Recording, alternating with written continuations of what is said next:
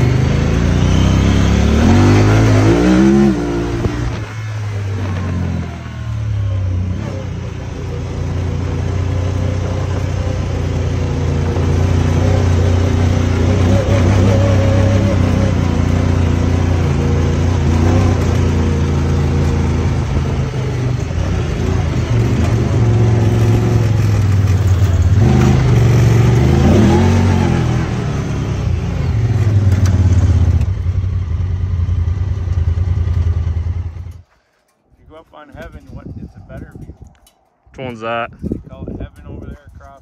power line? Oh yeah, at the end, at the end, Up way up. by the road.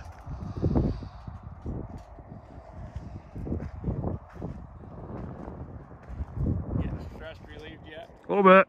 Yeah. Needed to ride something.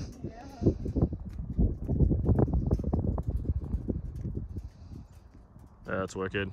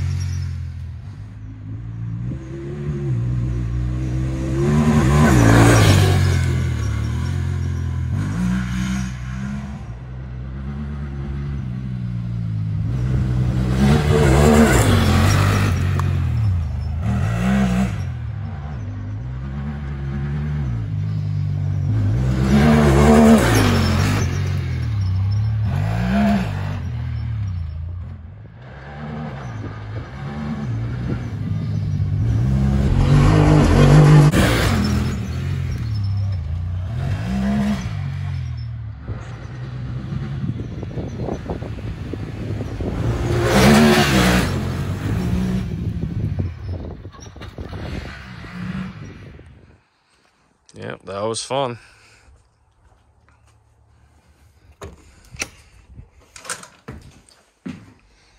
Pretty impressed with this thing. Can't wait to uh, build some parts for it.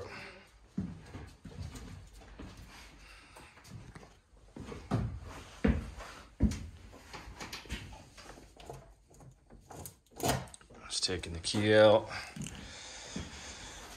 Hey guys, this thing is sick. I know there's mixed reviews online, but I'm impressed. Definitely gonna be doing some long travel, different rims and tires. Probably gonna do a turbo on this beast. Keep an eye out for some videos.